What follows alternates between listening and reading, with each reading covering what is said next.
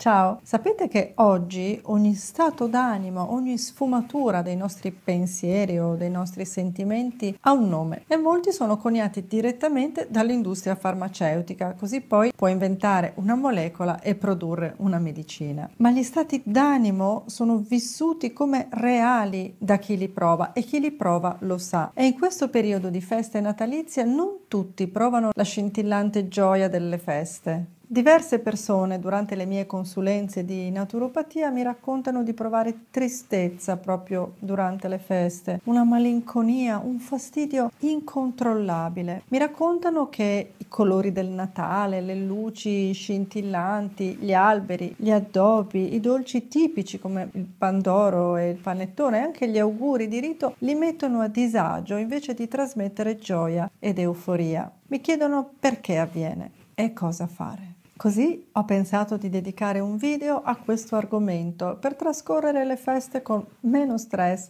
e più benessere. E per farlo vi darò la mia strategia antidepressiva completa per le feste.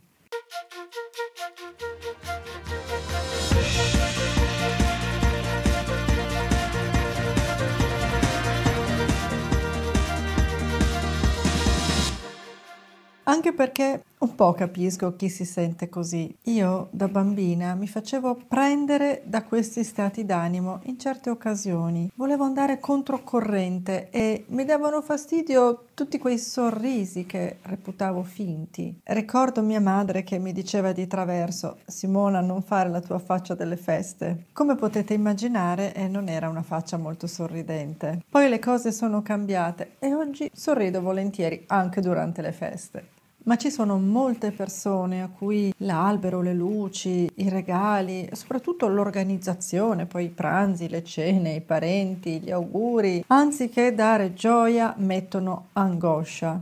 Anche a voi capita o conoscete qualcuno a cui succede? E questa insofferenza verso le feste natalizie ha anche un nome, come dicevo all'inizio di questo video. Comunque esiste e si chiama Christmas Blues, la depressione natalizia o delle feste. Scusa Simona, ma perché uno dovrebbe sentirsi giù quando arrivano le feste? Siamo tutti qui per festeggiare.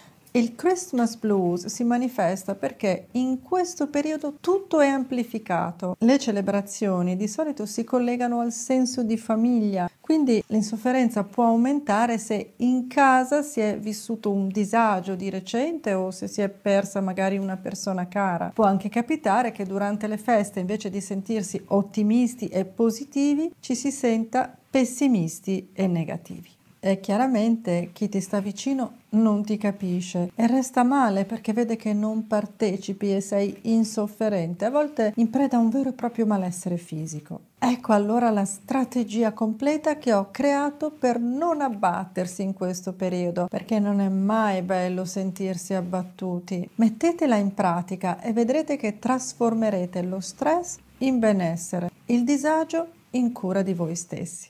1. Decidete di trascorrere questo periodo come se fossero giorni uguali agli altri, in cui solo si lavora di meno e bisogna fare qualche uscita extra. A volte le feste ci obbligano a cambiare ritmo e stile di vita anche in modo radicale. Passiamo da tanti impegni lavorativi a un riposo totale e poi ci sono le visite ai parenti, le cene, i pranzi, i regali da comprare obbligatoriamente e in molti casi questi cambiamenti così concentrati in un momento dell'anno intasano la sensibilità e possono essere vissuti come fastidiosi.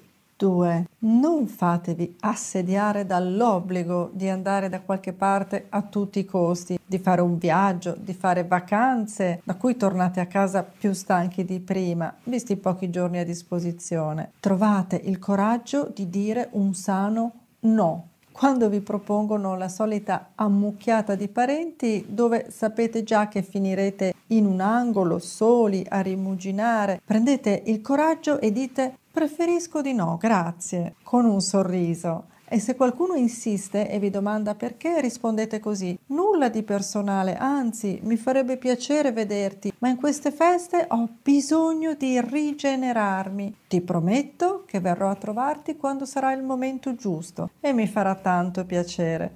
3. Fate azioni positive per il vostro benessere. Scegliete un'alimentazione leggera, per esempio con il mio menù delle feste, che trovate in questo video. Fate movimento regolare, se non proprio sport, almeno fate passeggiate, andate a vedere quell'angolino di città che vi ripromettete sempre di vedere, portate fuori il cane più spesso, sarà contento anche lui, fate una pedalata in bicicletta. L'importante è farlo nelle ore di luce, esponetevi alla luce del sole, fate una doccia di luce e quando i raggi del sole vi illuminano e vi scaldano con il loro loro tepore, pensate che quella luce vi ricarica in profondità. Fermatevi, respirate, sorridete, distendete il viso. 4. Trovate il tempo di dedicarvi a voi stessi, al vostro benessere, ma fate in modo che qualcun altro si prenda cura di voi. Un bel massaggio, dei trattamenti termali, una bella spa. Se potete trovate due o tre giorni di fila in cui regalarvi queste coccole rigeneranti. 5. Invece di correre, rallentate, staccate dagli impegni, leggete quel libro di evasione che non avete mai il tempo di leggere. E così il prossimo Natale non vedrete l'ora che arrivino queste feste tutte per voi. Mettete un bel mi piace a questo video, tanti mi piace, tanti nuovi video. Sapevate che secondo le statistiche a Natale sono sempre di più le persone che soffrono di questo disagio emotivo, tanto che Natale rappresenta uno dei picchi depressivi più forti dell'anno. Allora condividete questo video più che potete sui vostri social, via mail, con i vostri amici, così aiuterete altre persone a vivere un Natale più sereno.